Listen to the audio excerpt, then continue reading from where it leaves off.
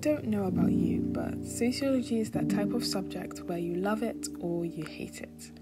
I had quite a tumultuous experience with it, from my teacher not being the best and working on a 5 at the end of year 10 to getting a 9 in it for my GCSEs. And today I just want to give you my advice on how I got to that stage.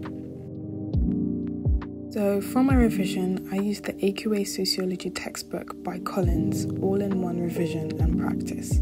This was such a helpful textbook as it contained all the condensed notes I needed, questions to check your knowledge, and past papers for you to attempt at the back of the book. This made understanding the contents so much easier.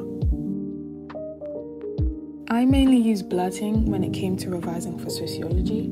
This is when you write down as much as you know about a topic and check with the textbook to see any gaps in your knowledge. I would do this for subtopics instead of one whole topic, as that would be way too much to blurt. This would really help me identify what I needed to know and memorize information quickly. It's nice to get a whiteboard to do this instead of paper, but if you don't have a whiteboard, you can also use spare paper as well. For sociology, key terms are so important. They literally build up the foundation of everything you need to know. So you need to know them. The first question you get for any paper in a sociology exam is a multiple choice question testing your knowledge on key terms, so you don't want to lose easy marks on not knowing them. You also need to use key terms in your answers for any questions that you have in your paper anyway, so you need to know them. In your assessment objectives, it requires you to know about subject terminology, i.e., key terms. I suggest you make some flashcards on it or blurting as many keywords you know about a topic. Key perspectives are also important. You'll be required to know about the main perspectives such as functionalists, Marxists, feminists, i.e., the holy trinity of sociological perspectives.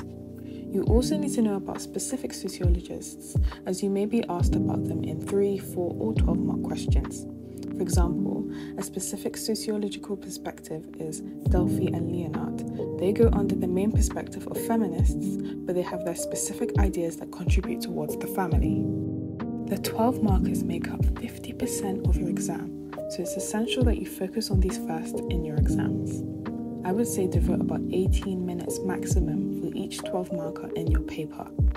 Exam technique is also important, so try and do these under timed conditions to get better at finishing on time. You're mainly going to be assessed on AO3 during these 12 markers, so you need to know your key terms, sociological perspectives, statistics, and research methods as well. I will link below this document, which has a ton of 12 markers for you to try for each topic, on top of other questions for each topic as well. You can get your teacher to mark them and get feedback. You can also check with your notes to see what points you missed and what you could include in your answers. Mind maps can also be useful when revising for sociology, as you can have all the information you need to know condensed into a few large pages.